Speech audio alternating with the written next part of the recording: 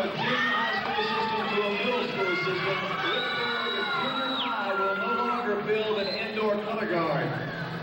The Richbourg Color Guard would like to thank the administration of Richbourg Junior High and in particular Mr. Alton Adams, principal, whose continued support and leadership has uh, possible, made possible an indoor color guard program.